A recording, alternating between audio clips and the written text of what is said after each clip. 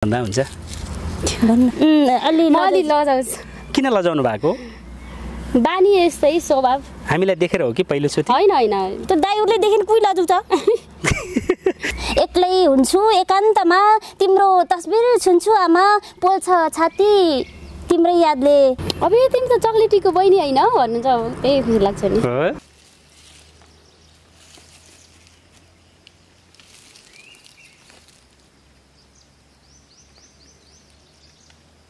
नमस्कार सबैजनालाई मेरो तर्फबाट। म तपाईँहरूकै चक्लेटी सानी अर्थात् उर्मिला घरती मगर पश्चिम दाङ घोराइबाट यति बेलाको समयमा तपाईँहरूको माझमा फेरि पनि टुक्लुक्क उपस्थित भइसकेको छु भने आज मेरो साथमा छिन् मेरो बहिनी। है?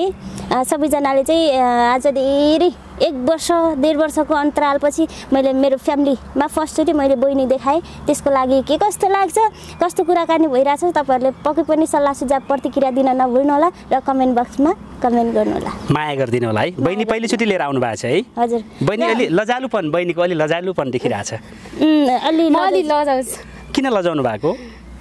बानी यस्तै स्वभाव। हामीलाई देखेर हो कि पहिलोचोटि? होइन होइन। त्यो दाइहरूले लजाउँछ अ, चम्किहाल्नुपर्छ तपाईँ चाहिँ फेरि हँ? तपाईँ चम्किहाल्नुपर्छ? ए भगवान् त्यो चम्क्या हो र त तपाईँ दाइहरू जस्तो मान्छेदेखि कुही चम्किन्छ? ओ, के थाहा हो?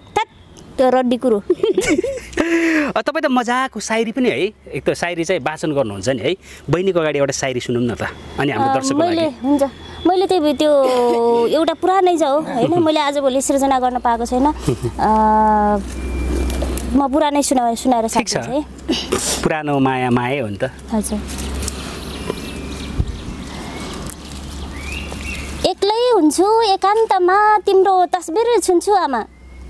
एक्लै हुन्छु एकान्तमा तिम्रो तस्बिर छुन्छु आमा। पोल्छ छाती तिम्रै यादले भक्का निदै रुन्छु आमा। एक्लै हुन्छु। एकान्तमा तिम्रो तस्बिर छुन्छु आमा। पोल्छ छाती तिम्रै यादले बरबराउँदै रुन्छु आमा। किन गयौ एक्लै छोडी यो संसारमा मलाई? किन गयौ एक्लै छोडी यो संसारमा मलाई? हेप्छन् यी दुनियाँले अनि एक्लो हुन्छु आमा। हो हेप्छन् यी दुनियाँले अनि एक्लो हुन्छु आमा। मिठो सायरी सुनाइदिनु भयो। आमाको बढी आमालाई सम्झेर समर्पित आमाहरूको लागि है। अनि बहिनीलाई के आउँछ नि? दिदीको जस्तै केही कला प्रतिभा बहिनीलाई पनि आउँछ होला है। आउँछ होला तर पनि नभनौँ होला। अहिले सुनाउनु मिल्छ भने यसो एक लाइन फेरि बहिनी पनि जाओस् नि। दिदीले मजाले सुनाइदिनु भयो होइन। सोचेर भन्दा हुन्छ? भन्नु? के भन्नु? मलाई त दिदी भाइरल है। हजुर। के पाउनु भएको छ? कति माया पाउनु भएको छ? बाहिरबाट तपाईँलाई भेट्नेहरूले के भन्छन् दिदीको बारेमा? अब यो तिमी त चक्लेटीको बहिनी होइन भन्नुहुन्छ त्यही खुसी लाग्छ नि? हजुर। अनि आज पहिलोचोटि यसरी हामीसँग कुराकानी गर्दै हुनुहुन्छ। कस्तो भइरहेछ तपाईँलाई? अहिले यति बेला तपाईँलाई कस्तो फिल भइरहेछ? अब फर्स्ट टाइम यसरी बोलिरहेको। अब कस्तो खै कस्तो कस्तो भनौँ। डर जस्तो। अनि लाज जस्तो। लाज मानिरहेको। अघि भर्खरसँग के को लाज मानेको दाइहरूसँग लाज मान्ने भने होइन? तपाईँहरूसँग लाज माने दर्शकहरूको लागि दर्शकहरूको लाज माने दर्शकहरूको लागि खुलेर हो त। अहिले हामी पो छौँ त फेसमा त होइन? अब फेरि सायद हाम्रो यो भिडियो हेरिसकेपछि चक्लितीलाई चाहिँ फोन आउन सक्छ कि धेरैजनाको।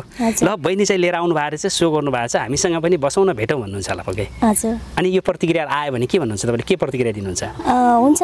पक्कै पनि दर्शकले चाहिँ फेरि पनि बहिनीको प्रतिभा सुन्नलाई आतुर हुनुहुन्छ भने। पक्कै पनि मेसेज गर्नुहोला है कमेन्ट गर्नुहोला। त्यसपछि फेरि पनि नेक्स्ट भिडियो लिएर हामी पक्कै पनि उपस्थित हुनेछौँ भन्दै। अहिलेलाई हामी? अहिलेलाई हामी छुट्टिन्छौँ सबैजनाले बाबाई नमस्ते। थ्याङ्क यू बाबाई समय दिनुभयो छोटो कुराकानी गरिदिनु भयो तपाईँ दुईजनालाई धन्यवाद छ है। Thank you so much